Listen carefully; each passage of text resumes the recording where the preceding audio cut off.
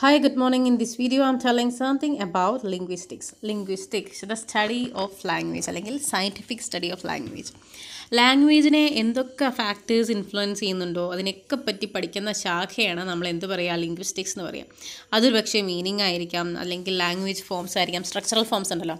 അതായിരിക്കാം. അല്ലെങ്കിൽ സോഷ്യലി അല്ലെങ്കിൽ കൾച്ചറൽ ഹിസ്റ്ററിക്കൽ ആയിട്ടുള്ള ഫാക്ടേഴ്സ് ആയിരിക്കാം. ഇതിനെയൊക്കെ പറ്റി പഠിക്കുന്നതിനെയാണ് നമ്മൾ എന്ത് പറയുന്നത്? ലിംഗ്വിസ്റ്റിക്സ് എന്ന് പറയുന്നത്. അപ്പോൾ ഈ ലിംഗ്വിസ്റ്റിക്സ് എന്നുള്ള ഈ ഒരു ബ്രാഞ്ചിനെ പറ്റി അല്ലെങ്കിൽ ഈ ഒരു സയന്റിഫിക് സ്റ്റഡിയെ പറ്റി നമുക്ക് കൂടുതലായിട്ട് മനസ്സിലായത് ഫെർഡിനാൻഡ് ഡി സോസ്രി എന്നുള്ള സ്വിസ് ലിംഗ്വിസ്റ്റിൽ നിന്നാണ്. അദ്ദേഹത്തിനെയാണ് നമ്മൾ ഫാദർ ഓഫ് മോഡേൺ ലിംഗ്വിസ്റ്റിക്സ് എന്ന് നമ്മൾ വിശേഷിപ്പിക്കുന്നത്.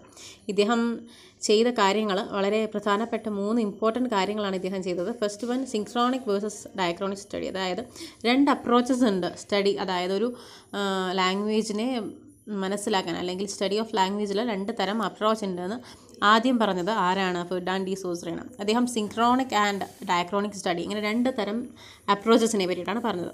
അത് സിൻക്രോണിക് സ്റ്റഡി എന്ന് പറഞ്ഞു കഴിഞ്ഞാൽ ഒരു പെർട്ടിക്കുലർ പോയിന്റ് ഓഫ് ടൈമിൽ ഒരു ഒരു പെർട്ടിക്കുലർ പോയിന്റ് ഓഫ് ടൈമിലുള്ള ലാംഗ്വേജിന്റെ വ്യത്യാസങ്ങൾ അല്ലെങ്കിൽ ലാംഗ്വേജിന്റെ എന്തൊക്കെയാണ് അതിനുള്ള അതിന്റെ ഫീച്ചേഴ്സിനെ പറ്റി പഠിക്കുന്നതാണ് എന്ത് സിങ്ക്രോണിക് സ്റ്റഡി എന്ന് പറയുന്നത്. പക്ഷേ ഡയക്രോണിക് സ്റ്റഡി എന്ന് പറഞ്ഞു കഴിഞ്ഞാൽ അതൊരു ഹിസ്റ്ററിക്കൽ ഡെവലപ്മെന്റ് ഓഫ് ലാംഗ്വേജ് അതായത് അതിന്റെ ഒറിജിനെ പറ്റി അതിന്റെ വ്യത്യാസങ്ങളെപ്പറ്റി ഓരോ കാലഘട്ടത്തിലും അതിനുണ്ടാകുന്ന വ്യത്യാസങ്ങളെപ്പറ്റി അതിനെ പറ്റിയിട്ടൊക്കെ പഠിക്കുന്നതാണ് എന്ത് ഡയക്രോണിക് സ്റ്റഡി എന്ന് പറഞ്ഞു കഴിഞ്ഞാൽ.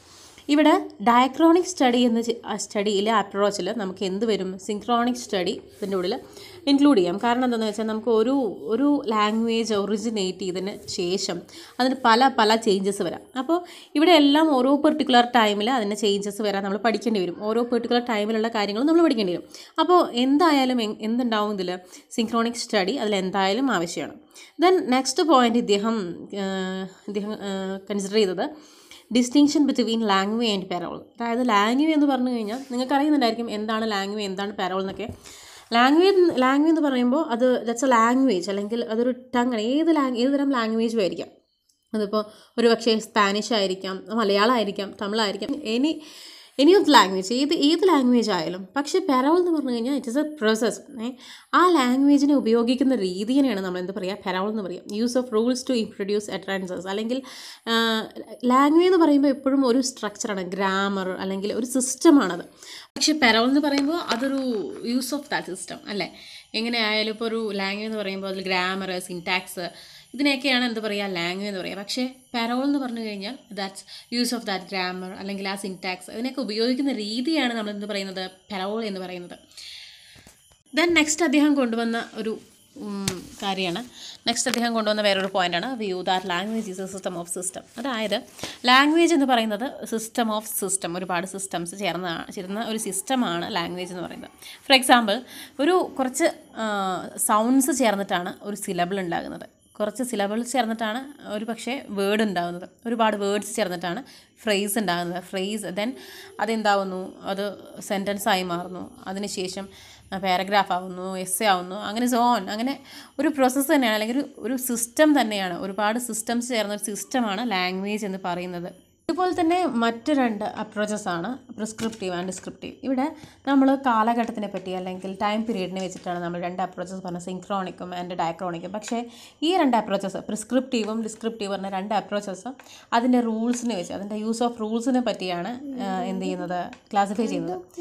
പ്രിസ്ക്രിപ്റ്റീവ് ഗ്രമറിയൻസ് പറയുന്നത് എന്താണ് ഈ ലാംഗ്വേജ് ഉപയോഗിക്കുന്നവർ അത് ഒരു പക്ഷേ സ്പീക്കേഴ്സ് ആയിരിക്കാം അല്ലെങ്കിൽ റൈറ്റേഴ്സ് ആയിരിക്കാം ആരായാലും അവർ ഉപയോഗിക്കേണ്ട രീതി എങ്ങനെയാണ് അവർ ഉപയോഗിക്കേണ്ടത് എന്തെല്ലാം ഉപയോഗിക്കേണ്ടാത്തതുണ്ട് എന്നതെല്ലാം അവർ ഒരു സെറ്റ് ഓഫ് റൂൾസ് പോലെ അങ്ങോട്ട് പറയാണ്. അല്ലെങ്കിൽ ഇന്നത് ചെയ്യണം ഇന്നത് ചെയ്യണ്ട എന്നുള്ള ഒരു പ്രിസ്ക്രിപ്ഷൻ കൊടുക്കണം. നമ്മൾ പ്രിസ്ക്രിപ്ഷൻ കൊടുക്കുക പറഞ്ഞു കഴിഞ്ഞാൽ നമ്മൾ ഡോക്ടർ പ്രിസ്ക്രൈബ് ചെയ്യില്ലേ? അതുപോലെ എന്താണ് ചെയ്യേണ്ടത് എന്താണ് ചെയ്യേണ്ടാത്തതെന്ന് അവർ നമുക്ക് പറഞ്ഞു തരും ഒരു അജണ്ട പോലെ.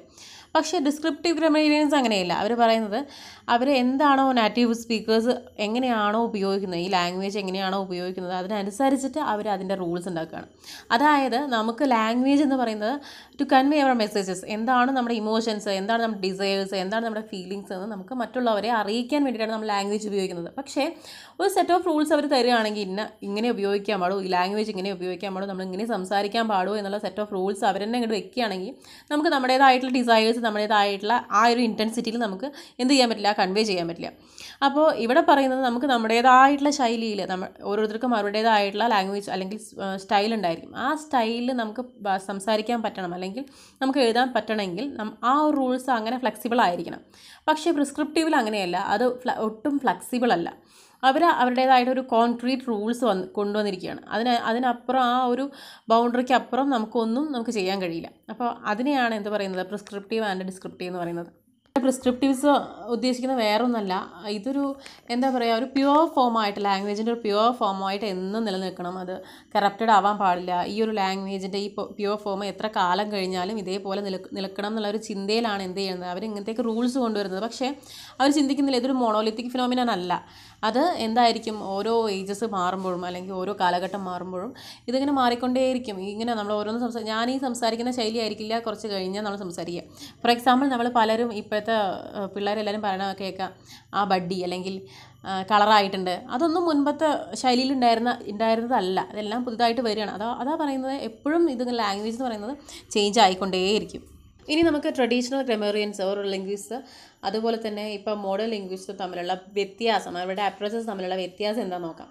അതായത് first first and foremost one എന്താണ്? മുൻപത്തെ ആൾക്കാർ ട്രഡീഷണൽ ഗ്രാമറിയൻസ് കൂടുതലായിട്ട് ഇമ്പോർട്ടൻസ് കൊടുത്തിരുന്നത് റൈറ്റിംഗ് ലാംഗ്വേജ് റിട്ടേൺ ലാംഗ്വേജസിനാണ് അവർ സ്പോക്കൺ ലാംഗ്വേജിന് അധികം ഇമ്പോർട്ടൻസ് കൊടുത്തിട്ടില്ല. കാരണം എന്താണെന്ന് വെച്ചാൽ അവരുടെ കാഴ്ചപ്പാടിൽ നമ്മളൊരു ഹിസ്റ്ററിക്കൽ ഈവന്റിനെ പറ്റി അല്ലെങ്കിൽ ഒരു ലാംഗ്വേജിന്റെ ഹിസ്റ്ററിനെ പറ്റി പഠിക്കണമെങ്കിൽ ലാംഗ്വേജ് ഇപ്പോൾ നമുക്ക് ഷേക്സ്പിയറിന്റെ ഷേക്സ്പിയർ ഉപയോഗിച്ചിരുന്ന ലാംഗ്വേജ് അല്ലെങ്കിൽ ഷേക്സ്പിയറിന്റെ ഇംഗ്ലീഷ് എലിസബത്തിന്റെ ഇംഗ്ലീഷിനെ പറ്റി അറിയണമെങ്കിൽ നമ്മൾ അന്നത്തെ റൈറ്റിങ്സ് നോക്കിയിട്ടാണ് നമ്മൾ എന്ത് മനസ്സിലാക്കുക. അന്നത്തെ ലാംഗ്വേജിന്റെ ഒരു കണ്ടീഷൻ നമുക്ക് മനസ്സിലാക്കുക.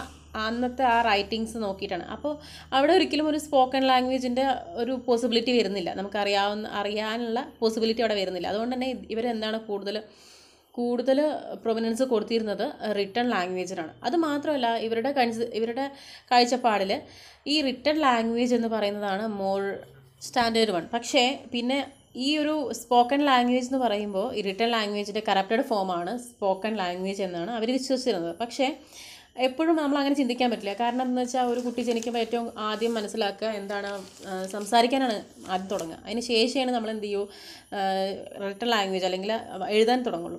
അപ്പോൾ അങ്ങനെയൊക്കെ വെച്ച് നോക്കുമ്പോൾ രണ്ടിനും അതിന്റേതായിട്ടുള്ള കോംപ്ലിമെന്ററി റോൾസ് ഉണ്ട്.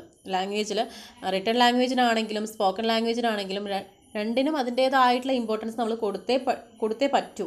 അതുകൊണ്ട് തന്നെ ഇന്നത്തെ മോഡേൺ ലിംഗ്വിസ്റ്റ് കൂടുതലായിട്ട് സ്പോക്കൺ ലാംഗ്വേജിനാണ് കൂടുതൽ ഇമ്പോർട്ടൻസ് കൊടുക്കുന്നത്. അതുമാത്രമല്ല ട്രഡീഷണൽ ലിംഗ്വിസ്റ്റ് കൂടുതലായിട്ട് ഡയക്രോണിക് സ്റ്റഡിക്കാണ് ഇമ്പോർട്ടൻസ് കൊടുത്തിട്ടുള്ളത് എങ്കിൽ ഇന്നത്തെ മോഡേൺ ലിംഗ്വിസ്റ്റ് കൂടുതലായിട്ട് സിൻക്രോണിക് സ്റ്റഡിക്കാണ് എന്ത് കൊടുത്തത് ഇമ്പോർട്ടൻസ് കൂടുതൽ കൊടുത്തത്. അതുപോലെ തന്നെ സെയിം ഇതുപോലെ തന്നെയാണ് എന്ത് മുൻപത്തെ ഗ്രമേറിയൻസ് പ്രിസ്ക്രിപ്റ്റീവ് റൂൾസ് ആണ് ഉപയോഗിച്ചിരുന്നതെങ്കിൽ ഇപ്പോഴത്തെ മോഡേൺ ഗ്രമേറിയൻസ് കൂടുതൽ ഡിസ്ക്രിപ്റ്റീവ് ടൈപ്പാണ് ഉപയോഗിച്ചുകൊണ്ടിരിക്കുന്നത്.